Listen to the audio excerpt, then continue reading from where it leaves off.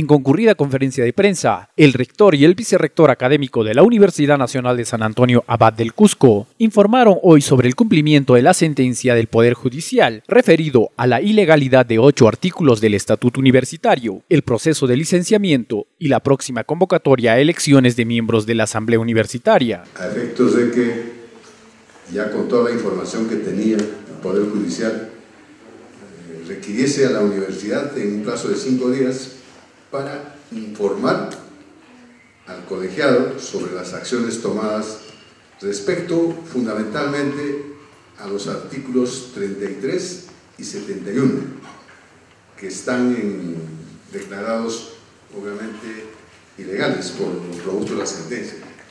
El artículo 33 está referido a la conformación del Consejo de Facultad y ya la Asamblea Universitaria ha tomado determinación respecto fundamentalmente de conformar el Consejo tal y cual señala la ley universitaria. Y en el, y en el caso del artículo 71, respecto a la conformación de las facultades, en, en Asamblea Universitaria se ratificó básicamente la conformación de las 10 facultades. Y no solo ellos, sino que también habíamos tomado en consideración ya previamente el proceso de licenciamiento en el cual está nuestra universidad.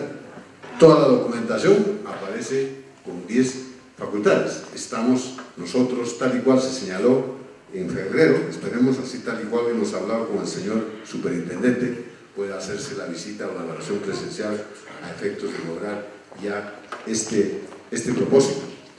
Yo debo también señalar que el día de ayer el Consejo Universitario se presentó el cronograma para elección de la Asamblea. Nosotros hemos tocado el tema, ningún miembro del Consejo Universitario ha indicado que no se lleve adelante las elecciones, tal como ahora aparecen pronunciamientos y comunicados y miente flagrantemente el señor secretario general que ha estado en el Consejo Universitario. Lo que hemos señalado es lo siguiente, hay, un este, cronograma, pero previamente el Consejo Universitario tiene que modificar el reglamento que tiene aprobado. ¿Por qué? Porque ya no tenemos en funciones al vicerector administrativo. Por lo tanto, ya no son 15, son 14 autoridades. El número de docentes es el doble del número de autoridades. Eran 30, ahora son 28. Y por lo tanto, también la conformación del tercio estudiantil cambia en su número. La propuesta la hace el comité electoral con la autonomía que tiene pero quien aprueba es el Consejo Universitario.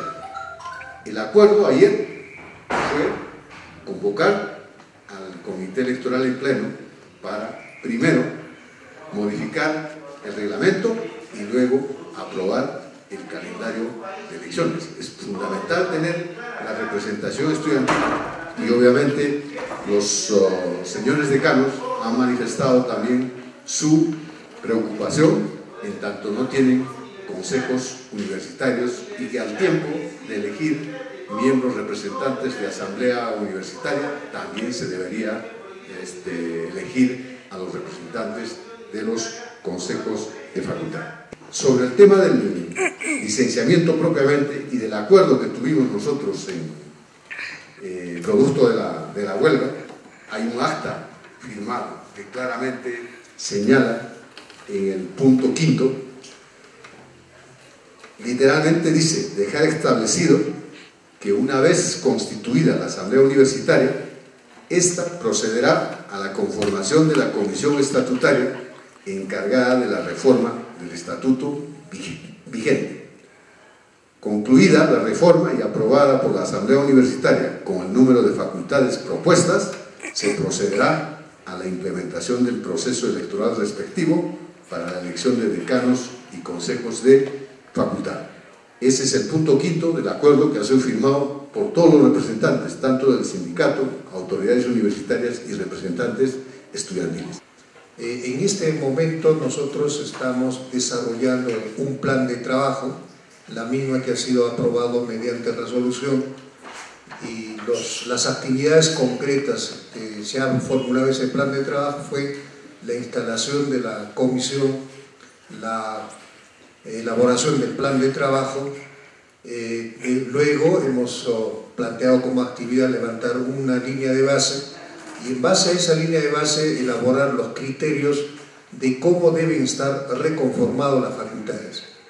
El día martes de esta semana hemos ya asignado a las diferentes comisiones que hemos organizado para que hagan la explicación de estos criterios básicos que son de orden legal, académico, económico, administrativo y de gobernanza en las 10 facultades. Entonces hay un cronograma que se ha establecido y las que están liderando en estos equipos son, como ha expresado el señor rector, está conformado por decanos, por eh, representantes que ha acreditado el sindicato y por estudiantes también acreditados por la Federación Universitaria Cusco. Entonces, esta, esta semana que viene están eh, bajando a cada facultad a hacer la explicación de estos criterios y a la vez también invocar a cada facultad para que puedan realizar reuniones de plenarios y luego ellos nos alcancen la propuesta de la reconformación de facultades. Y luego de este proceso nosotros eh, nos reunimos en sesión permanente para elaborar la propuesta y esta propuesta se va a socializar y luego alcanzar al Consejo Universitario, que en este caso vendría a ser el 8 de, febrero, pues, de acuerdo a los términos de, del cronograma que tenemos en el plan de trabajo. Entonces estamos en pleno trabajo en este momento y la participación es al 100% de todos los integrantes de esta.